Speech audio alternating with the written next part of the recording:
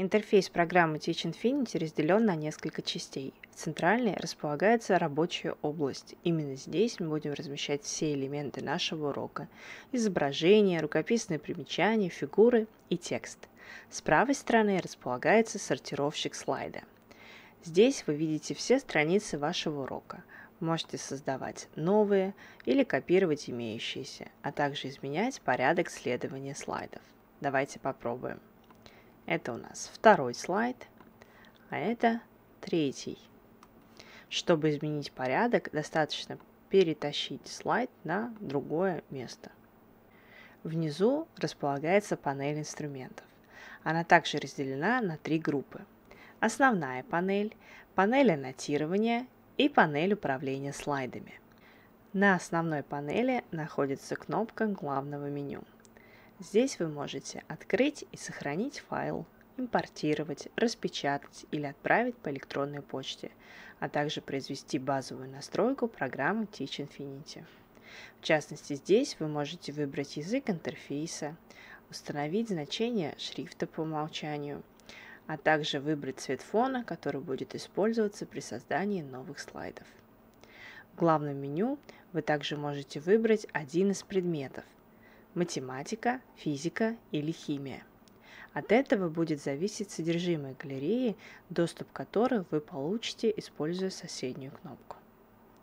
Кроме того, на основной панели располагаются дополнительные инструменты для преподавателя, кнопка для загрузки собственного контента, быстрый вызов экранной клавиатуры, что очень удобно при работе с интерактивной панелью – а также кнопка воспроизведения всего происходящего на слайде с момента его создания.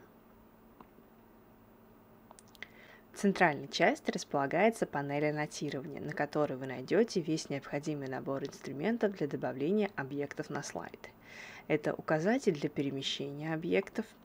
Вы можете выделить объект, а затем переместить его. Различные виды перьев – ластик, который позволит стирать рукописные примечания, инструменты добавления геометрических фигур, дополнительные инструменты, такие как ставка текста, таблицы и видеофайлов. Здесь же располагаются кнопки отмены и возврата. С правой стороны располагается область управления слайдами.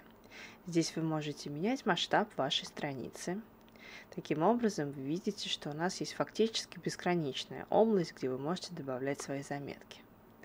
Кроме того, вы можете перемещаться по холсту, выбрав инструмент с изображением ладошка. Далее идут инструменты управления слайдами, перемещение вперед, назад, выбор фона слайда, а также переход в режим демонстрации или аннотирования поверх открытого документа. Когда вы переходите в режим демонстрации, скрывается область сортировщика слайдов. Остается только панель инструментов.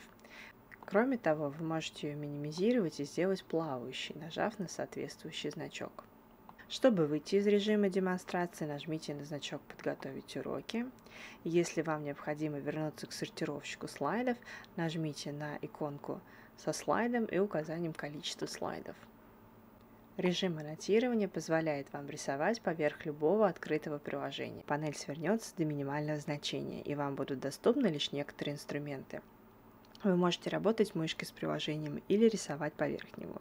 Если у вас будет открыта презентация PowerPoint, то будут доступны кнопки перемещения между слайдами, а также возможность создания быстрого скриншота содержимого экрана. Чтобы выйти из режима аннотирования, нажмите на изображение экрана с крестиком.